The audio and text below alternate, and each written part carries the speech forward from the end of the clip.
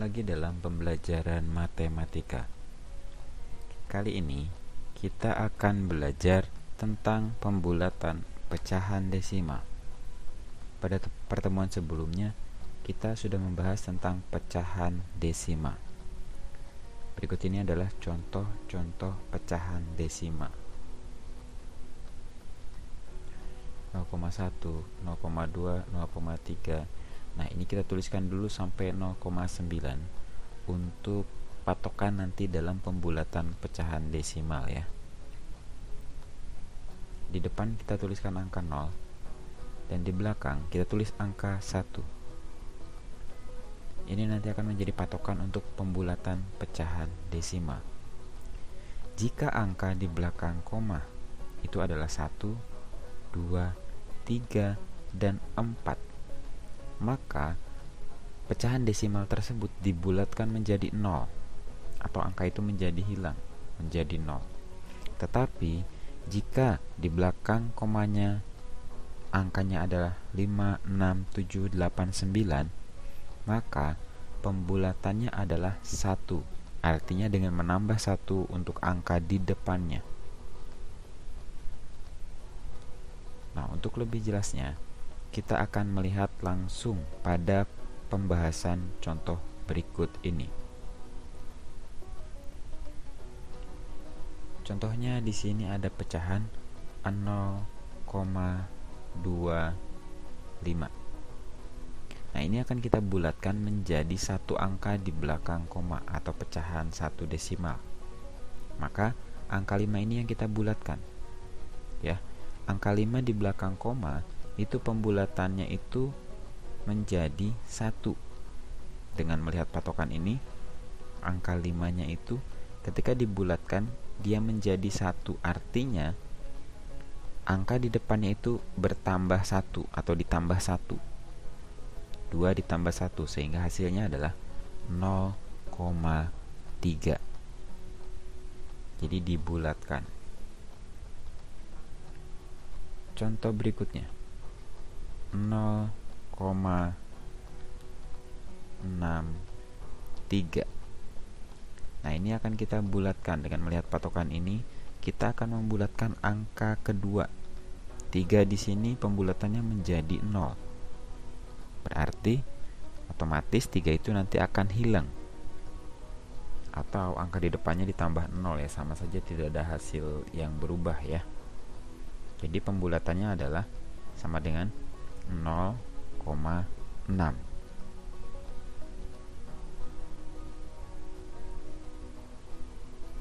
kurang lebih seperti ini. Kita lihat contoh yang ketiga. 0,22 0,22 ini kalau kita lihat angka terakhirnya adalah 2 pembulatan untuk angka 2 itu adalah 0 sehingga angka di depannya tidak berubah. Jadi, pembulatan untuk 0,22 adalah 0,2. Nah, sekarang kita akan melihat contoh pembulatan menjadi dua desimal. Ya, kita akan melihat contoh pembulatan dua desimal. Jadi dengan memperhatikan angka di paling belakangnya dengan berpatokan kepada uh, pembulatan di atas tadi.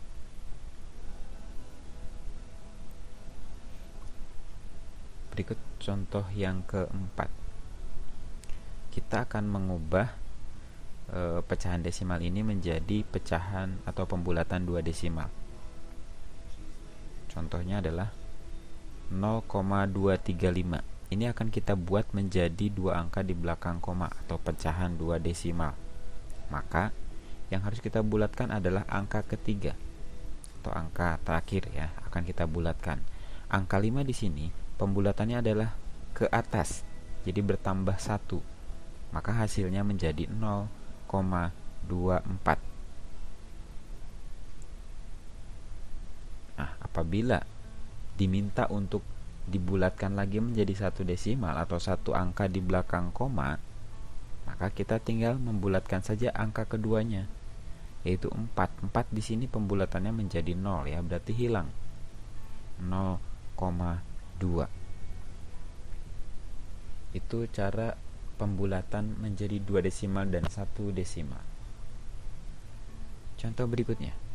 0,478 kalau kita ubah atau pembulatan dua desimal, maka angka 8 ini akan kita bulatkan. Maka otomatis bertambah satu ke depannya ya karena pembulatan ke atas. Sehingga hasilnya adalah 0,48. Ini pembulatan dua desimal. Dan untuk pembulatan satu desimal, 8-nya bertambah satu ke depan menjadi 0,5. itu contoh kelima dan terakhir contoh keenam 0,302 kita bulatkan menjadi dua desimal maka angka terakhir kita bulatkan menjadi 0 ya. Menjadi 3, maaf 0,30 dan kalau dibulatkan lagi menjadi satu desimal maka nolnya ini menjadi hilang. 0,3 sampai di sini Bapak harap bisa dipahami ya. Nah, sekarang untuk bisa lebih memahami, kita akan mengerjakan latihan soal. Silahkan kalian siapkan dulu alat tulisnya. Kita akan latihan membulatkan pecahan desimal menjadi satu desimal, menjadi dua desimal, dan menjadi satu desimal lagi. Anak-anak bisa siapkan dulu alat tulisnya ya. Karena ini nanti setiap soal dituliskan kalian langsung kerjakan jawabannya di situ. Jadi nanti kalian menuliskan jawabannya setelah waktu yang ditentukan keluar. Baik, kita mulai ya. Nomor satu. Silahkan perhatikan soalnya. Ketika hitungan waktunya sudah muncul, bisa langsung ditulis hasilnya.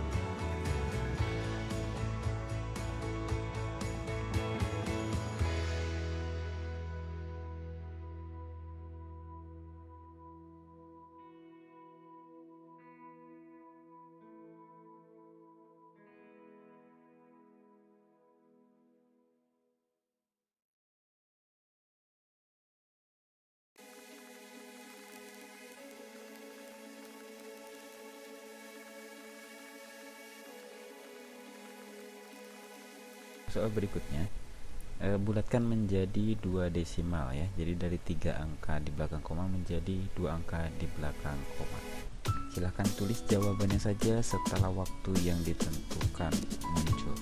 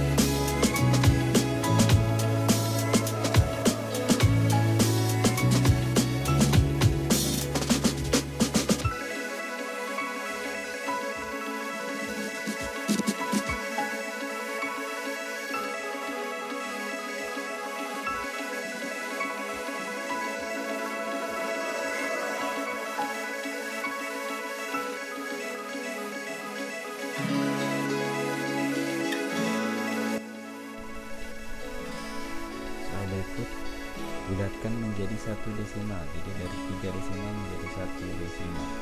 Maka harus melakukan pembulatan untuk angka ketiga dan kedua ya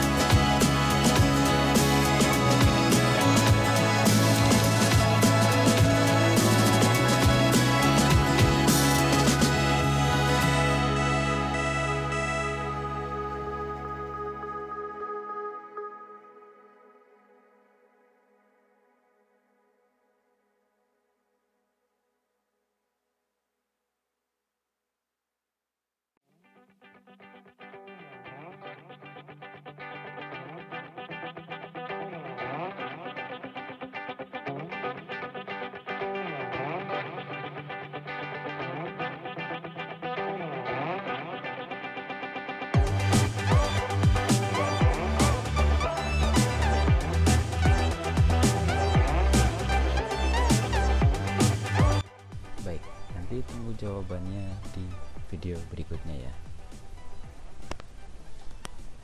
Terima kasih.